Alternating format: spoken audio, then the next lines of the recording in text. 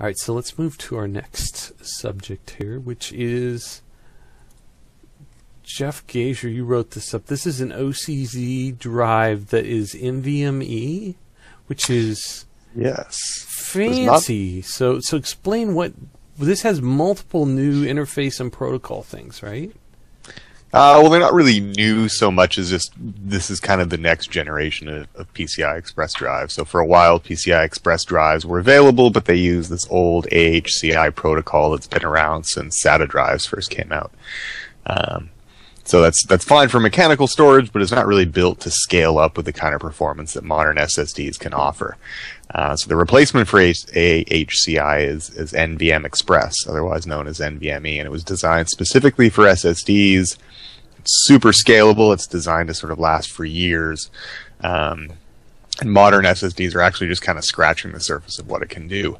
Uh, so this drive is a, it's a, a, PCI Express drive. It has four lanes of, of Gen 3 bandwidth.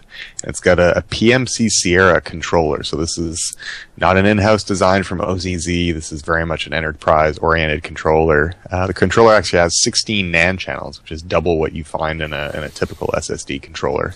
Um, has one of these FF8639 interfaces, which is basically like a cabled PCI Express interface. So the drive itself is actually a two and a half inch uh, drive. It's 15 millimeters thick, which is sort of the thickness of what some of the the enterprise class uh, mini SSDs are. Intel 750 series, the uh, their sort of desktop version of their da- data center drive is the same form factor.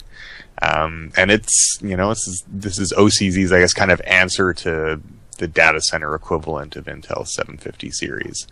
Uh, so a couple of different flavors for uh, of it. There's a Z6000 uh, series, which is made for sort of read-intensive workloads. It has a lower endurance rating than the Z6300 series, which is made for kind of mixed read and write environments. Um, right now, the drives go up to 3.2 terabytes. Uh, there's also a version they're coming out with that's going to be 6.4 uh, terabytes, uh, although that's not available yet. And they're also working on kind of an add-in card version, so it'll be kind of like a, a half-height uh, PCI Express card. That's also coming later as well.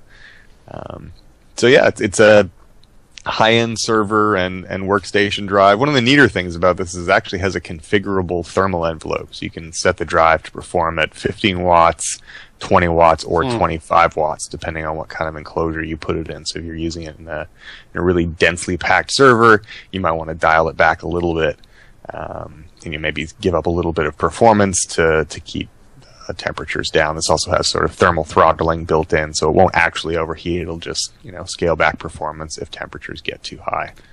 Um, hmm. So it's an interesting looking drive. The the performance figures are you know appropriately ridiculous. Um, you can go you know 2,900 megabits or megabytes per second for sequential reads, almost 2,000 for sequential writes.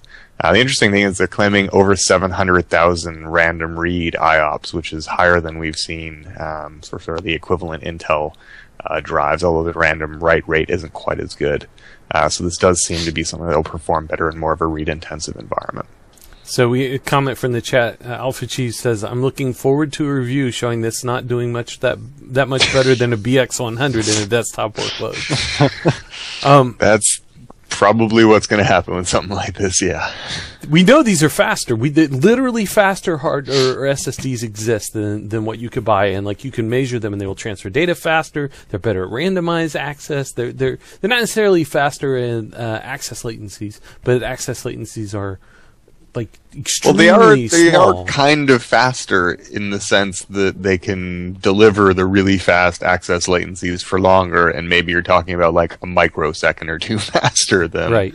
But if you're if you're sitting there using a system with this in it, it is not going to blow your hair back any more than a pretty good mid-range SSD that you plug into a SATA port, because the software that controls all this is kind of doesn't take advantage.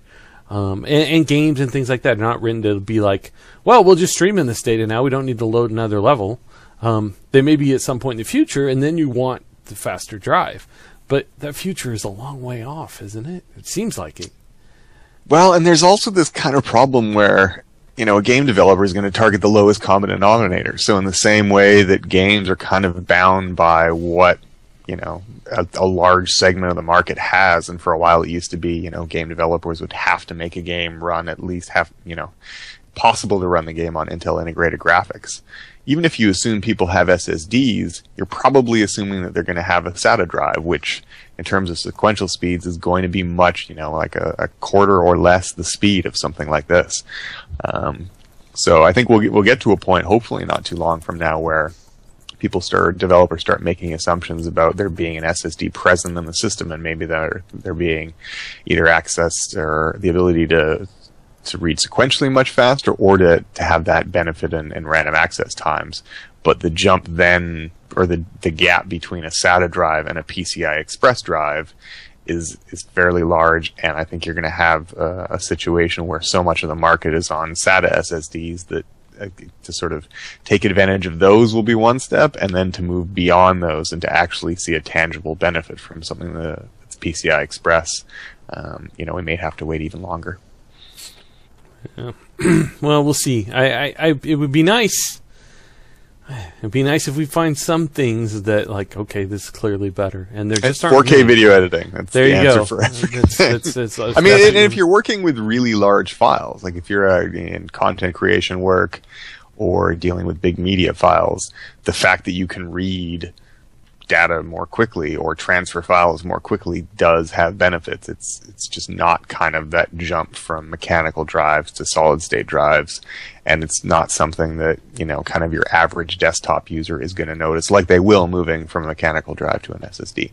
I saw an interesting thing that was just a link on Twitter the other day that uh, coding horror, who was Jeff Atwood, who was on the show some time ago, linked to, and it was just a guy who was doing some type of like graph sorting or some crazy algorithm, and it's a hard computing problem.